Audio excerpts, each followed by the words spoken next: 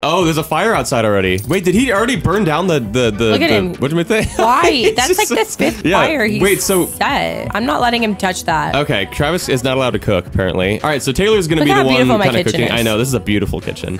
Oh, oh.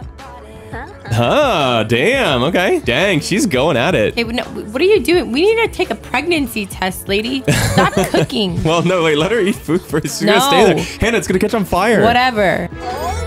Hey, eating for two. Congratulations. Taylor is expecting. Nice. There's going to be a new addition to this Grew in a household. All right. Oh, she already grew the bump. Wow. Well, yeah. Okay. So apparently, if you take the pregnancy test, it speeds up the Sims pregnancy by a day. Whoa. So this is nice because Okay. it makes it even thing, yeah. easier to have her have as many kisses. Yeah. we can Oh, make. they kissed. Wait a minute. That was unprompted. Why is he still out here? Yeah. Why are your? I think he was uncomfortable because of the fire. I'm assuming.